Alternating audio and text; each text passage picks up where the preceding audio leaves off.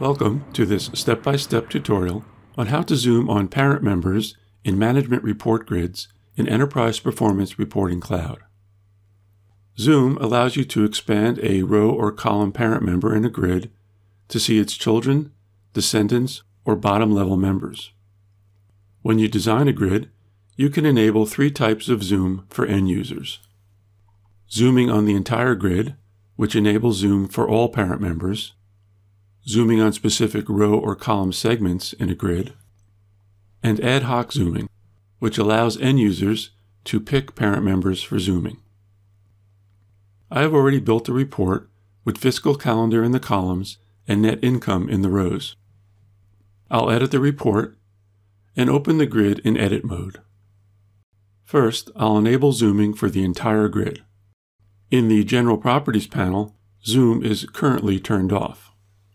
When I click the link, you can see I have three options.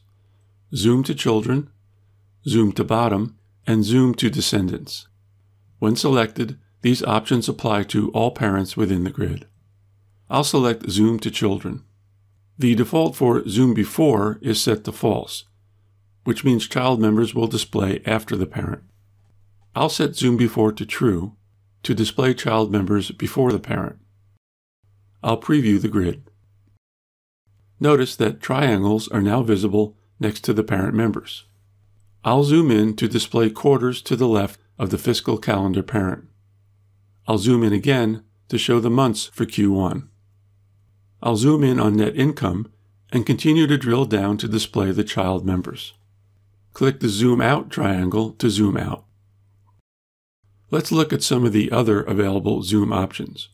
I'll return to Edit mode change Zoom to Children to Zoom to Bottom, and change Zoom Before to False.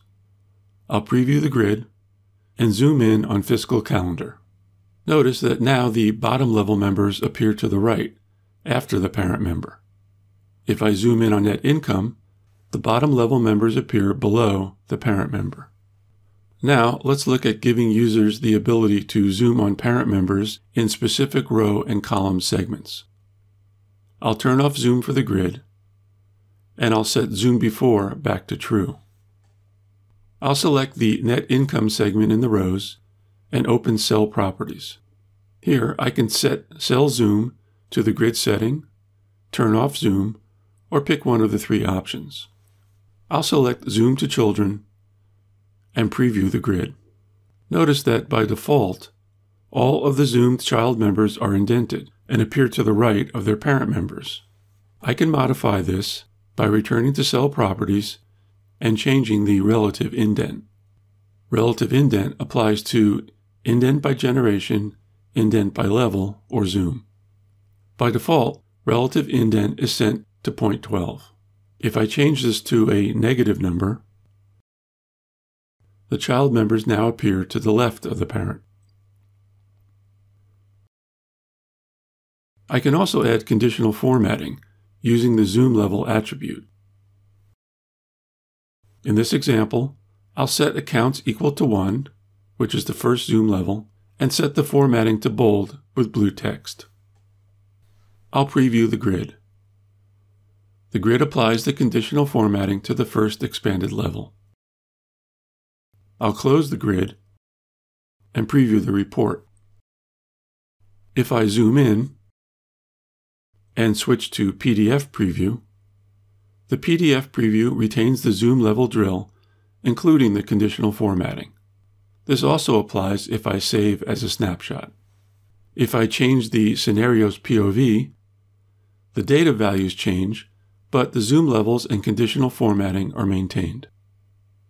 To demonstrate ad hoc mode, I'll close the report and reopen it. In the General Properties panel, I'll set Allow Ad Hoc Analysis to True, and then preview the report. I'll select Actions, Zoom Options. I'll select Zoom to Children and set Zoom Before to True. Note, Zoom options set here are retained for future sessions of this report and other reports where ad hoc analysis is enabled. When I preview the report, I can zoom in. In this tutorial, You saw how to zoom on parent members in management report grids in Enterprise Performance Reporting Cloud. For more information, visit cloud.oracle.com.